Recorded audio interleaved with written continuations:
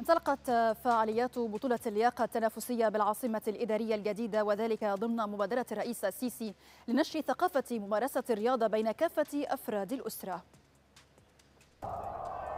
الانطلاقة الأولى لبطولة اللياقة التنافسية. يشهدها نادي النادي أحد الصروح الرياضية بالمدينة الرياضية بالعاصمة الإدارية الجديدة. ليشارك في المنافسة أكثر من 400 شاب وشابة من 40 جامعة مصرية. في إطار مبادرة رئيس الجمهورية لنشر ثقافة ممارسة الرياضة بشكل عام والشباب بشكل خاص رافع شعار الرياضة أسلوب حياة. حاجة مختلفة جدا طبعا وإن هي أول مشاركة ليا في street workout آه أنا لعبت منتخب لعبة تانية خالص اسمها ترايسلون عبارة عن جري وسباحة وعجل.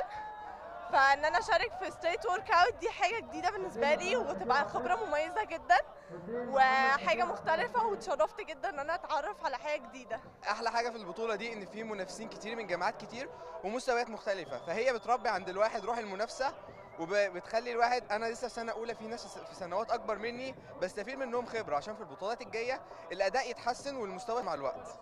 رياضات بدنية لثلاث منافسات على مدار ست ساعات على ملعب التنس بالمدينة الرياضية مجهز على أعلى مستوى لكل أنواع الألعاب الرياضية. الحقيقة دي مش أول بطولة نعملها إحنا هنا بس كل مرة بنعمل بطولة في العاصمة الإدارية الجديدة الحقيقة بنكتشف إنه في مميزات أكتر وأكتر. رمز إنه للشباب كمان إنه مفيش حاجة مستحيلة. إحنا العاصمة الإدارية وانشأت في كام سنة والنهاردة زي ما أنتم شايفين. فدي أعتقد رسالة للشباب.